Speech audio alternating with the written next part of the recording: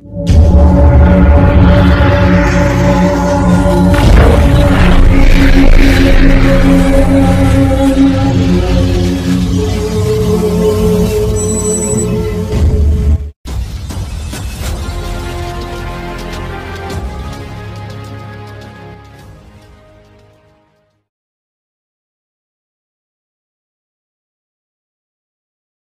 Bismillahirrahmanirrahim. Assalamualaikum warahmatullahi wabarakatuh.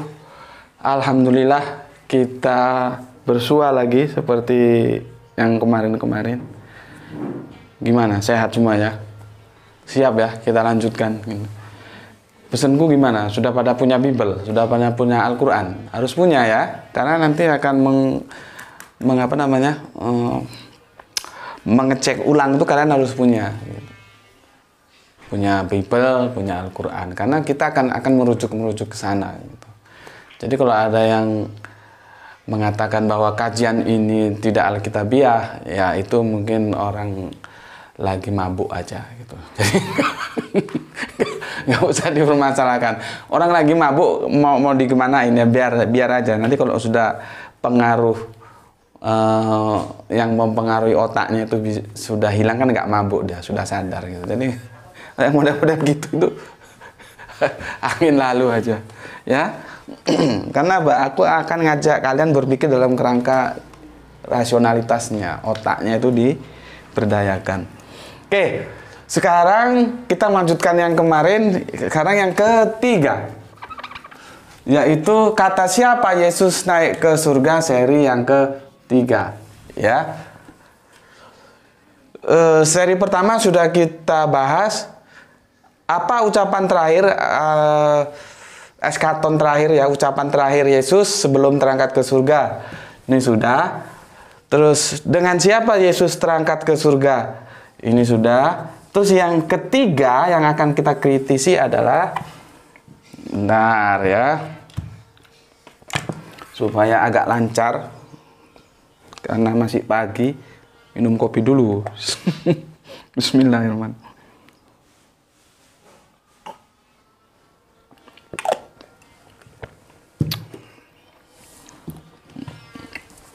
Ini ya.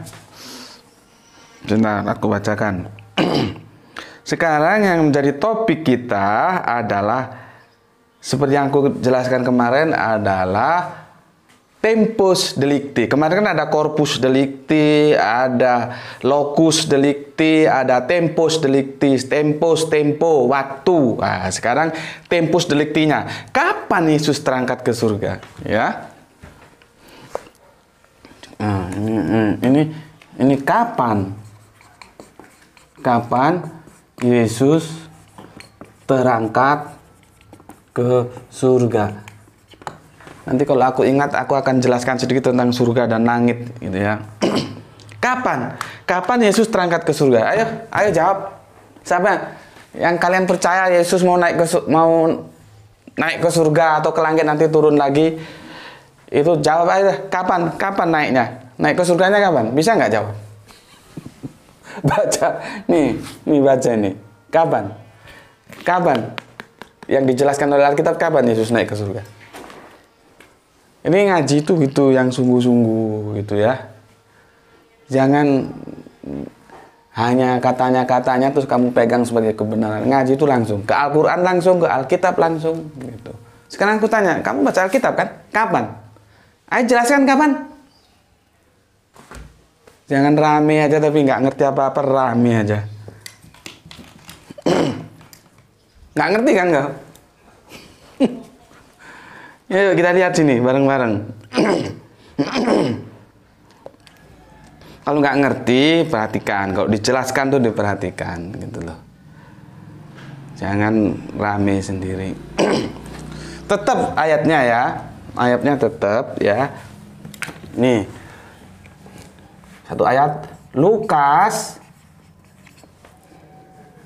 23 43 ya.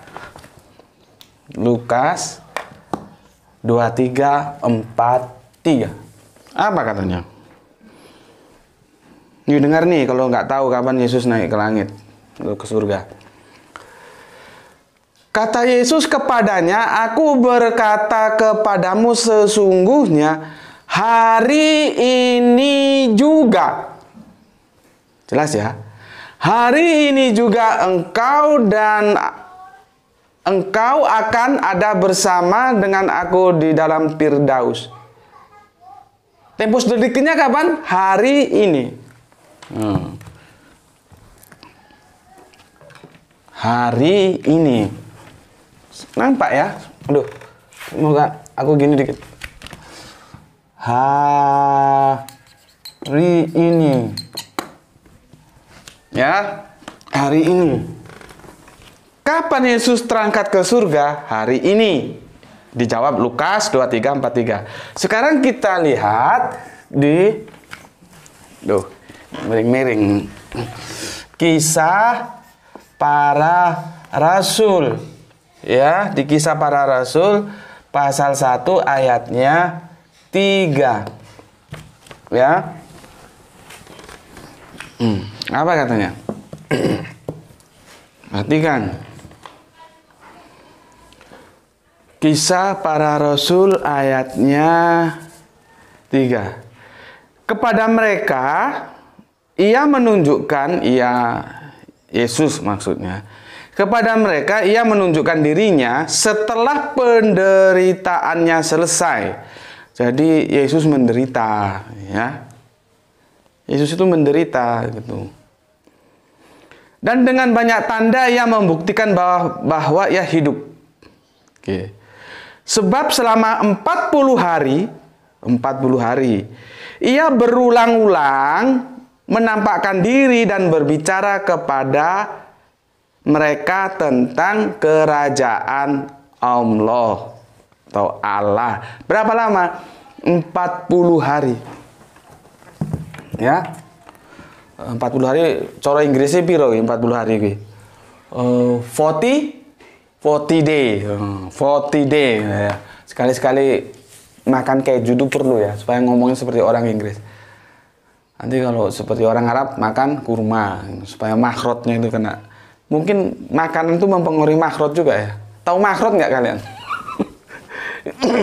40 day. Iya, 40 day. Iya, 40 40 day. 40 day. Nah. Ini ya, di kisah para rasul pasal 1 ayat 3, dia itu adalah 40 hari. Ya. Aku jelaskan dulu di Lukas hari ini. Ya, di kisah para rasul 40 hari. Kalau yang hari ini sudah jelas ya, hari ini ya, ya, ya ketika ini. Kalau 40 harinya itu 40 hari yang mana? Karena ini ayatnya panjang, di sini nggak dijelaskan. Jadi begini, 40 hari nanti kalau kita baca ayat seluruhnya itu panjang, itu begini. Aku ulangi lagi seperti yang kemarin. Kanjeng Nabi Isa yang kalian sebut Yesus itu disalib, jebret. Oke, diambil oleh Yusuf Arimatea setelah dia minta izin terhadap otoritas Yuna, uh, Romawi. Kemudian dimakamkan. Tiga hari tiga malam bangkit. Setelah bangkit itu 40 hari lamanya. 40 hari itu berkeliling. Ya. Hebat juga ya dia berkeliling nggak ada orang tahu. yang tahu padahal ada 500 orang itu nggak ada yang membocorkan ke ke apa namanya itu ke mata-mata Yahudi, mata-mata Romawi. Padahal dia daftar orang pencarian kan, TO, target operasional. Ya sudah, itu sudah kita bahas kemarin. Intinya 40 hari dia. Setelah 40 hari menampakkan diri, baru Yesus naik ke surga. Sekarang kita bandingkan. Lukas 2343 bilang hari ini, tapi Kisah para Rasul 1 ayat 3 40 hari. Anda pilih yang mana? Hmm? Pilih yang mana? pilih yang mana? Pilih yang 40 hari atau yang yang hari ini? Ini kapan Yesus terangkat ke surga? Tempus delitiknya itu mana? Kalau kamu mengikuti Lukas, hari ini juga ketika disalib tuh. Tapi nyatanya kan enggak. Terus 40 hari baru naik ke surga. Eh, sekarang mana yang benar? Apakah Lukas? Apakah KPR ini? Padahal KPR ini yang nulis ya Lukas juga ini. Berat kan? Sorry. Berat. Dari konteks-konteks seperti ini, ya permasalahan-permasalahan berat ini, bagaimana kita akan percaya? Ya? Oke. Ngomong aku ingat, aku aku jelaskan dulu. Aku tidak tidak mengerti bahasa Ibrani, jadi aku hanya sedikit yang aku tahu akan berbagi dengan kalian. bahasa Ibrani itu ini juga akan menjawab kenapa di Al-Qur'an itu Allah itu disebut mereka. Eh, sorry.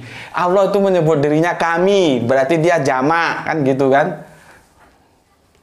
Kan banyak pertanyaan-pertanyaan gitu. Padahal itu ya pertanyaan yang sudah dijawab berulang-ulang sampai bosen jawabnya ya di, di, di bahasa Ibrani akhiran im ya itu bisa bisa berarti dua. Bisa berarti dia jamak ya bisa berarti dia pengagungan. Agung ya im. Makanya elo ya itu him jadi him. Ini bukan bukan Allah yang banyak tapi Allah yang agung gitu loh Ya.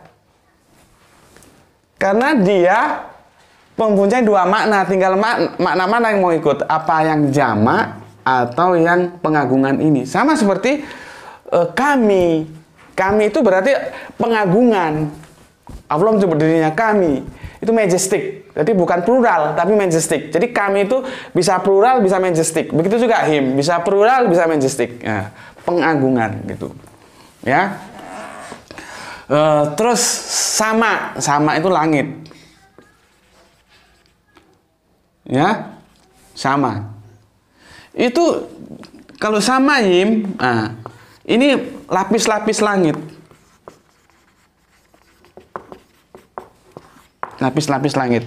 Nah, terkait di surat Markus yang yang tadi yang di season 1, seri 1 pernah kita bahas kemarin, itu tertulisnya kan terangkat ke surga itu ya. Itu padahal teks Ibrani-nya itu samayim. Bu, samayim ini. Artinya apa? Langit. Jadi bukan surga, langit.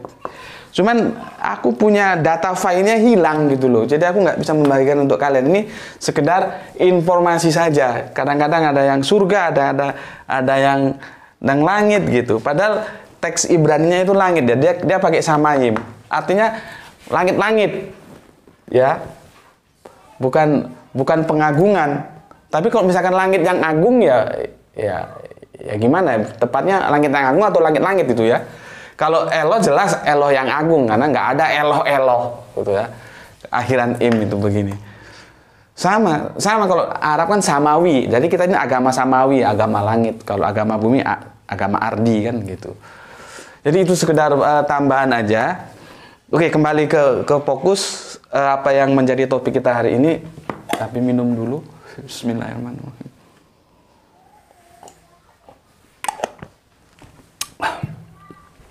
Jadi ada tiga masalah berat tentang kata siapa Yesus naik ke surga ya. Sudah tiga seri dan ini insya Allah ini seri terakhir lah ya. Nanti kita beralih ke topik lain. Atau mau kalau mau kita tuntaskan nanti kita bikin uh, topik lain juga.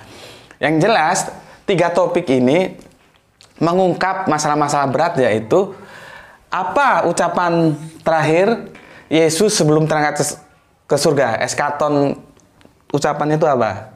Ya. Yang kedua dengan siapa Yesus terangkat ke surga? Yang tiga kapan Yesus terangkat ke surga? Ini juga ini masalah-masalah yang yang yang diametral, yang saling kontradiktif satu ayat dengan ayat yang lain.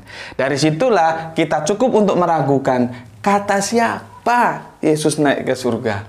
Oke, itu dari aku. Maaf, maaf kalau ada salah kata ya. Selamat berkarya. Ini sudah siang, sudah jam jam berapa ini ya? Hampir jam setengah delapanan gitu. Selamat berkarya dan semoga kita bisa ketemu lagi sehat kembali. Sekali lagi, maaf-maaf kalau ada salah-salah kata. Assalamualaikum warahmatullahi wabarakatuh.